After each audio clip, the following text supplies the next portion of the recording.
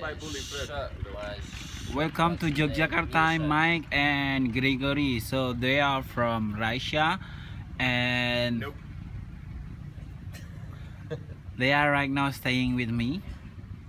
Uh, through so we met through couchsurfing and um, I gonna ask you uh, about what is your uh, experience about couchsurfing so far.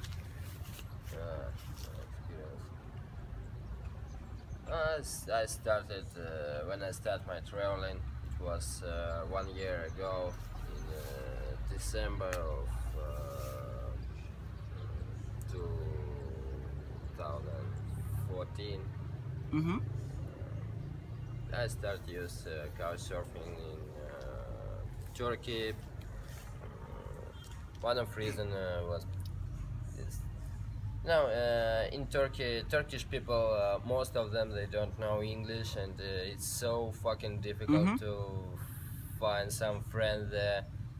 Mm, Try not to use F word. You know.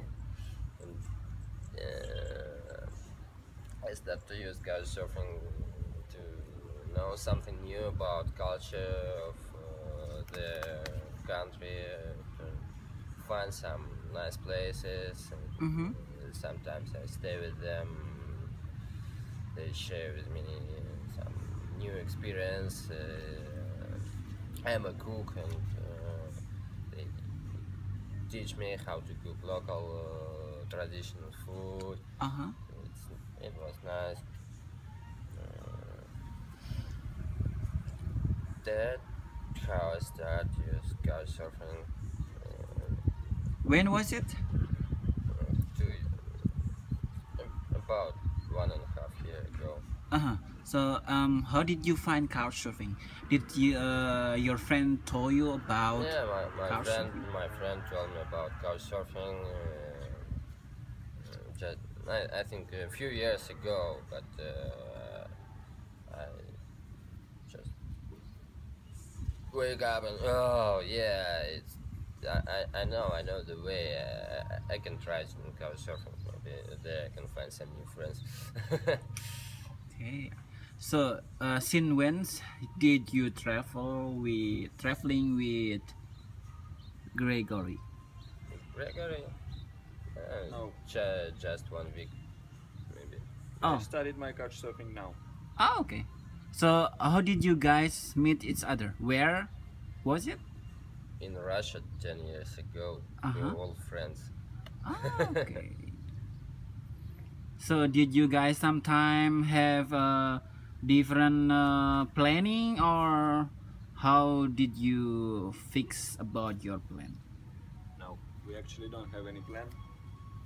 Yeah, that's uh, the Mike, main t- plan. Mike told me that having a plan is a bad idea. Planning anything is a bad idea.